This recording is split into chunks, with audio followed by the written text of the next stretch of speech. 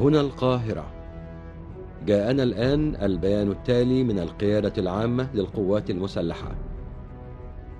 نجحت قواتنا في اقتحام قناة السويس في قطاعات عديدة واستولت على نقط العدو القوية بها ورفع علم مصر على الضفة الشرقية للقناة.